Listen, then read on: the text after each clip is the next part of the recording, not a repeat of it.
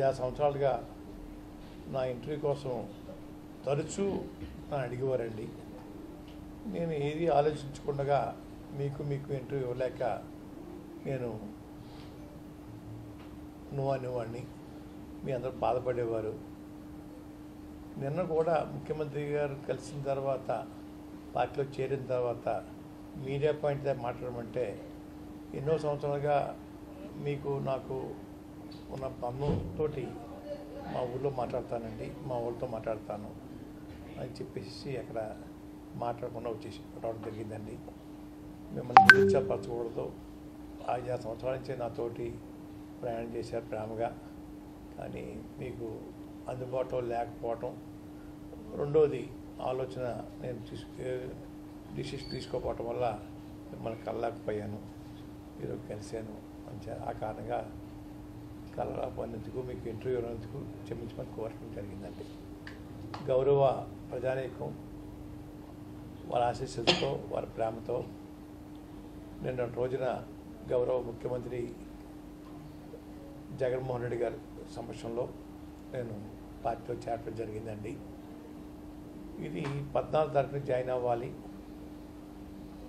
ఏదో కొద్దిమంది తోటి వెళ్దాం అనుకుంటే విపరీతమైన స్పందన వచ్చి సుమారు మూడు నాలుగు వేల వెహికల్స్ కార్లతో ప్రయాణం చేయాలని ఎక్కడికక్కడ ఉత్సాహం ఉండటం వల్ల నేను భయపడ్డానండి. ఒక పక్క పిల్లలు పరీక్షలు అవుతున్నాయి. ఈ పరీక్షల్లో వాళ్ళు పరీక్ష కేంద్రానికి వెళ్ళటం వెళ్ళటానికి ఈ మా ర్యాలీ చాలా ఇబ్బంది కలిగించేస్తుందనే ఉద్దేశంతో కారణం అండి. అలాగే రెండోది ముఖ్యమంత్రి గారి దగ్గర అంత ప్లేసు లేదు. సెక్యూరిటీ పాయింట్ ఆఫ్ వ్యూలో ఎంతమందిని ముఖ్యమంత్రిగా చూడడం కష్టం అని చెప్పేసి అదొక మెసేజ్ రావటం అండి. ఎంతమంది రావాలి ఇంతమందిని చూడాలి ఇంతమందిని వచ్చినప్పుడు చూడాలంటే అందరినీ చెక్ చేయాలి. సాధ్యపడదండి. వారు వెళ్ళినది కూడా చెక్ చేయాలి. అసాధ్యం ఇది చెప్పడం వల్ల పిల్లల్ని భవిష్యత్తు దృష్టిలో పెట్టుకొని ముఖ్యమంత్రి గారి యొక్క మాటను దృష్టిలో పెట్టుకొని ఇంకా పద్నాలుగు తేదీన వాయిదా వేసుకొని నిన్న రోజున వారి సమస్యలో చేరడం జరిగిందండి. అసలు ఫౌండర్లో నేను ఒకడండి పార్టీ స్థాపనలో. దూరదర్శన కొద్దీ కొన్ని శక్తులు వారితో నన్ను దూరం చేశారండి. అయినా ఈరోజు ముఖ్యమంత్రి గారు పిలుపు మేరకు మళ్ళీ వారిని చేరుకోగలిగారని చెప్పేసి చాలా ఆనందపడుతున్నానండి. పడ్డాం కూడా. మొత్తం మా కుటుంబం అంతా కూడా నన్ను అభిమానించే వాళ్ళందరూ కూడా చాలా ఆనందపడ్డారండి. అయ్యా. ఎటువంటి కోరికలు లేకుండా ఎంపీ సీటు కానీ ఎంపీఎల్ఏ సీటు కానీ ఏం అడగకుండా వారి పిలుపు మేరకు వారికి సేవ చేయాలి. మన ముఖ్యమంత్రి పీఠంపై కూర్చోబెట్టాలి. కూర్చోబెట్టిన తర్వాత వారు ఏదైనా ఇస్తే పుచ్చుకుని ప్రజల సేవ చేయాలనే ఆలోచన తప్ప ఎటువంటి కోరికలు లేకుండానే వారు సేవ చేయాలని నిర్ణయించుకున్నానండి ఒకే కొన్ని విషయాలు చెప్పాలండి. మా కుటుంబం పంతొమ్మిది వందల అరవై రెండులో రాజకీయాల్లో ప్రవేశించిందండి. సినిమా ఫీల్డ్లోకి పంతొమ్మిది యాభై ఒకటిలో వచ్చాం మేము. యాభై యాభై ఒకటిలో నుండి మేము సినిమా ఫీల్డ్లోకి వచ్చేటప్పటికి ఇప్పుడున్న నటులు ఎవరు కూడా పుట్టుండరు అనుకుంటున్నాను నేను. అయ్యా? అరవై రెండులో రాజకీయంలో వచ్చినప్పుడు కూడా వీళ్ళకి ఏబీసీలు కూడా రావండి.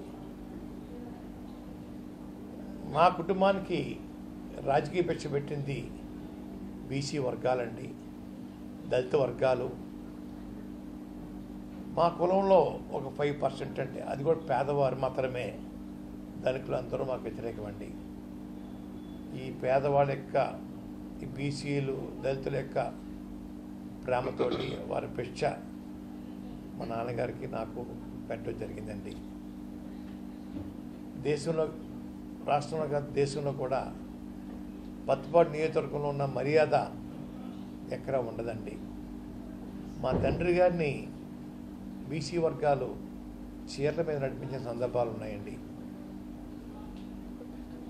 దళితులైతే రోజు ఎప్పుడు ఊళ్ళోకి వెళ్ళినా ఇరవై ముప్పై బిందెలు నీళ్ళు కాళ్ళ మీద పోసేవారండి. కొంతమంది అయితే పళ్ళెంలో ఆ తండ్రి గారి కాళ్ళ మీద నీళ్ళు పోసి ఆ పళ్ళెంలో నీళ్ళు అలా స్నానం చేసుకుని మీద పోసుకునేవారండి. అటువంటి అభిమానం పొందిన కాన్స్టిట్యున్సీ అండి. వారి భిక్ష వల్ల ఈరోజు నేను ఈ స్థాయికి వచ్చానండి. దీంట్లో ఎవరు ప్రమేయం లేదండి. బీసీ వర్గాలు దళిత వర్గాలు. మా కాపులో ఫైవ్ పర్సెంట్ ఉంటారండి ఇతరులు అగ్గ కులాలు కొంచెం పేదవారు వాళ్ళు ప్రేమతో వచ్చానండి కానీ పోస్టింగుల్లో రకరకాలుగా పెడతా ఉన్నారు. బాధాకరం అండి నేను రాజకీయాలు రావడానికి కాపులు కారకులు కాదండి. నేను ఎవరు అనుమతి తీసుకోవాల్సిన పని లేదు. రాజకీయాలు నా ఇష్టం అండి. మొలతాడు లేనోడు రాగు లేనోడు నాకు రాజకీయ పాఠం చెప్తా ఉన్నాడు. చాలా తప్పు. నేను మా పత్తిపాడు నియోజక ప్రజల పిచ్చతోటి రాజకీయాలకు వచ్చాను. ఇప్పటికే వారి పిచ్చే ఈరోజు గుర్తొస్తుందండి. వారి పిచ్చతోటి ఎన్నో ఉద్యమాలు చేశానండి. కాపుల కోసం చేశాను దళితుల కోసం చేశాను. నక్సలైట్లో నక్సలైట్కి సహకరించారని కేసు పెడితే అందులో రెండు మూడు కులాలు కూడా ఉన్నాయండి.